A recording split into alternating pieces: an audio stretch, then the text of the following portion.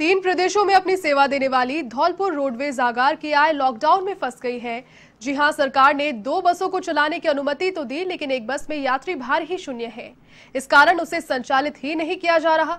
ऐसे में रोडवेज़ पर अब संकट के बादल छा गए हैं। राजस्थान में 22 मार्च से बंद रोडवेज़ को घाटा 60 करोड़ रुपए से अधिक का पहुँच गया है।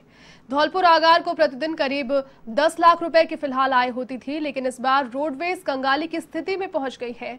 तो वहीं बसों का संचालन होने पर पहले उनकी मरम्मत कराई जाएगी। आगार में फ़िलहाल बेहतर बसें हैं, इनमें से 10 बसेस लॉकडाउन के कुछ दिन पहले ही मिली थी।